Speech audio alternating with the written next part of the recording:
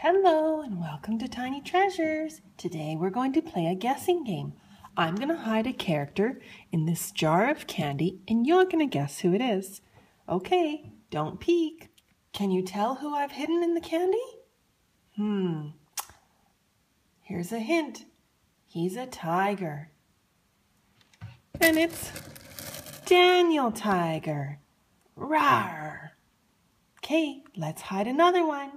Now do you know who's hiding in the candy? Hmm. I see Daniel Tiger.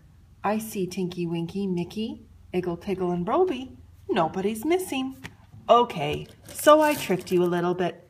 And I've got Chickedy from the Twirlywoos. Who's hiding in the candy this time? He's blue and his name is Iggle Piggle. Iggle Piggle's hiding in the candy. Okay, one more time.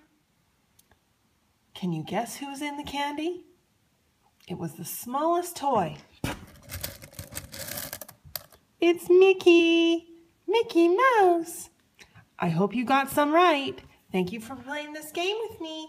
And thank you for coming to Tiny Treasures. Please subscribe to our videos. Goodbye.